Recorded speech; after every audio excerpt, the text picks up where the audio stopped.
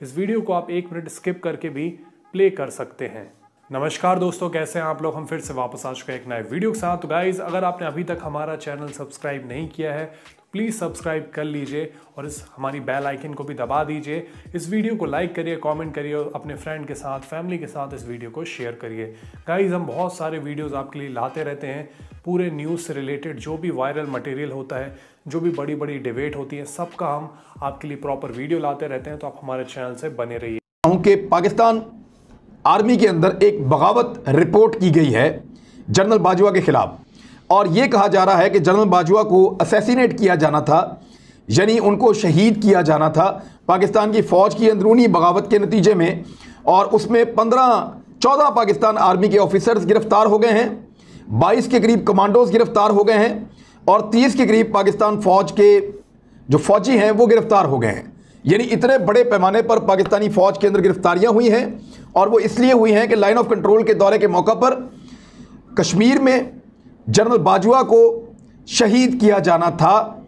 ये दावा किया जा रहा है, कुछ भारतीय अखबार कुछ भारतीय टीवी चैनल्स और कुछ सोशल मीडिया अकाउंट्स की मदद से। और इसके ऊपर बहुत ज़्यादा और बहुत अलार्मिंग न्यूज़ है। और वो ख़बर ये है कि पाकिस्तान की फ़ौज के सरबरा जनरल जावेद कमर बाजवा साहब के ख़िलाफ़ एक साजिश बुनी गई थी और जनरल कमर जावेद बाजवा को मारने के लिए, उनको कत्ल करने के लिए एक अटैम्प्ट करने की कोशिश की गई थी।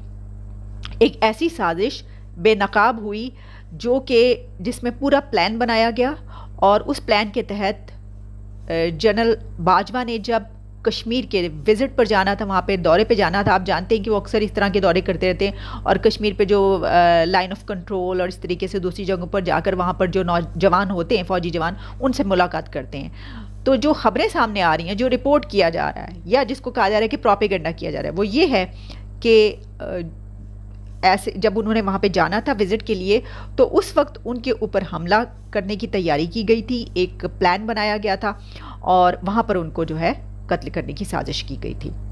लेकिन ये प्लान उस पर अमल होने से पहले ये जो अटैम्प्ट होना था, इसको पकड़ लिया गया और इसको बेनकाब कर दिया गया।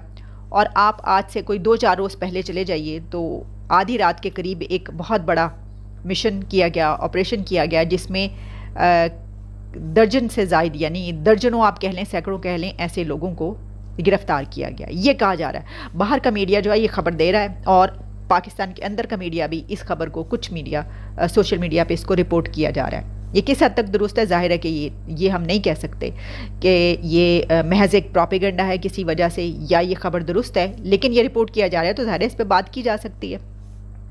और ये सिर्फ़ यही बात नहीं, ये तो हम खबर है ही। इससे भी ज़्यादा अहम खबर ये है कि जो लोग पकड़े गए हैं, जो साजिश बेनकाब हुई है, वो फ़ौज के अपने अंदर ही के लोग हैं। यानी ये कि जो ये बगावत की गई थी या ये जो साजिश की गई थी ये फ़ौज के अंदर से ही की गई थी। अच्छा यहाँ तक कहा गया है कि उसमें जो गिरफ्तारियाँ हुई हैं उसमें तकरीबन 22 के करीब कमांडोज़ हैं। फिर इसके अलावा कोई कहा जा रहा है कि चार मेजर जनरल हैं। बहुत हाई रैंक्स के लोग भी शामिल हैं इसमें जो आ, इस हवाले से जिनके ऊपर इल्ज़ाम आया है कि वो भी इस प्लान में शामिल थे। अच्छा इसके अलावा कहा जा रहा है कि कुछ चार मेजर हैं फिर ये कि तीन लेफ्टिनेंट कर्नल हैं दो कर्नल हैं। इतने हाई रैंक्स के लोग भी जो हैं, इसमें शामिल हैं। ज़राए से जो न्यूज़ आ रही हैं, वो ये बता रहे हैं कि एक बड़ी तादाद ऐसे लोगों की थी, जो कि अभी कुछ अर्सा पहले जिनको जनरल बाजवा ने रिटायर किया था, और वो जबरी रिटायरमेंट थी, और वो कोई दो चार सौ लोग नहीं थे, वो हज़ारों की तादाद में थे। तो शायद वो नाराज़ थे, और उस नाराज़गी की बिना पर उन्होंने गुस्से में आकर ये अटैम्प्ट करने की कोशिश की, और ये प्लान बनाया। लेकिन ये कंसर्न की बात इसलिए, अगर ये ऐसा है तो। इसलिए है कि आज तक पाकिस्तान में इतना इतनी बड़ी साजिश पहले नहीं बुनी गई होगी। मेरा नहीं ख्याल कि कोई इतना बड़ा प्लान बनाया गया होगा या हो सकता है कि लोगों को पता हो मुझे ना पता हो लेकिन हमारी नज़र से ऐसा कोई प्लान नहीं गुजरा कि इतने बड़े पैमाने पर एक ऐसी साजिश की गई हो। और ये बड़े कंसर्न की बात है। इसकी वजह यह कि ज़ाहिर है कि खुदा न खास्ता अगर ऐसा हो जाता तो पाकिस्तान के लिए एक ये टर्मोइल होता कि उस वक्त फिर क्या होता और आ, बहुत कंसर्न की बात है। तो ये एक बहुत अहम खबर है। अब देखिए अब जितनी खबरें मैंने आपको पिछली बताई उसकी नस्बत आपको वो छोटी लगी ना ये ज़्यादा बड़ी खबर बन गई। तो वही मैंने कहा कि ऐसा होता है कि एक बड़ी खबर जो है वो जब आती है तो फिर बाकी खबरें छोटी लगने लगती हैं। और समटाइम्स जो है आप किसी चीज़ को दिखाने के लिए आ, कुछ छोटी खबरें इसलिए सामने लाई जाती हैं कि बड़ी खबर छुप जाए।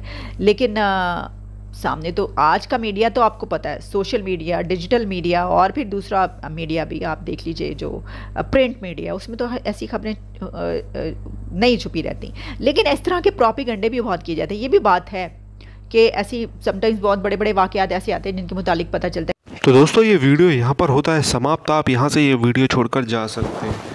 तो पाकिस्तानी मीडिया में इस खबर को लेकर डिस्कशन नहीं किया गया और अगर किया भी गया है तो पाकिस्तानी मीडिया में इस खबर को इंडियन प्रोपागेंडा बताकर ये चीज़ें हटा दी गई हैं।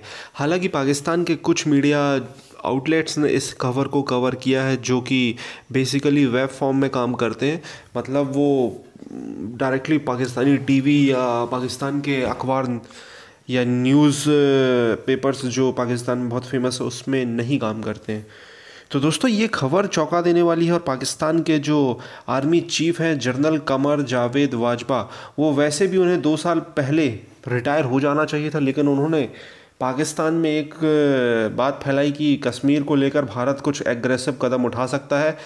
जब से 2019 के बाद से वो और ज़्यादा इस बात को फैलाते रहे और अपना उन्होंने एक्सटेंशन करा लिया और दो साल के लिए एक्सटेंशन कराते के साथ साथ वो पाकिस्तान की आर्मी के दो साल तक जो चीफ है, वो बने रहे। और ऐसा कुछ लग रहा है कि वो आगे भी ऐसा कुछ कर सकते हैं। और पाकिस्तान आर्मी में जो मतलब जिनका जिनका, जिनकी जगह उन्होंने खाई और जिन लोगों को उन्होंने निकाला उस वजह से पाकिस्तानी आर्मी में कुछ लोग उनके खिलाफ हो गए थे और ऐसी चीज़ें करने के लिए तैयार हो गए थे। इस तरीके की खबर है। अब इस खबर को लेकर भारत के जो डिफेंस एनालिस्ट है, जो काफ़ी फ़ेमस है, आपने देखा होगा, गौरव आ रहा है। अभी तक तो उन्होंने ऐसा कुछ ना ट्वीट किया है, ना अभी तक ऐसा कुछ उन्होंने वीडियो बनाया है। अगर वो वीडियो बनाते हैं और कुछ ऐसा करते हैं तो इस खबर के बारे में और भी डिटेल में पता चलेगा।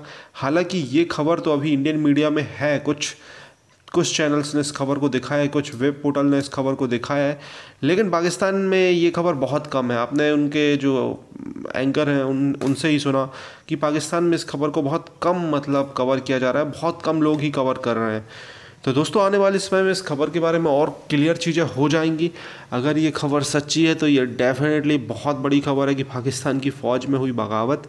बगावत तो नहीं कह सकते, ये पद की लड़ाई है, फ़ौज में बगावत ऐसे नहीं होती, आपको भी समझना चाहिए ये चीज़ें। तो दोस्तों, ये वीडियो यहाँ पर होता है समाप्त। आपको ये वीडियो कैसा लगा प्लीज़ कमेंट सेक्शन में लिखें चैनल को सब्सक्राइब करें, वीडियो को लाइक करें और अपने सुझाव दें कि हम अपने चैनल में और क्या सुधार कर सकें, जिससे कि आपके लिए वीडियो देखने के लिए अच्छा लगे।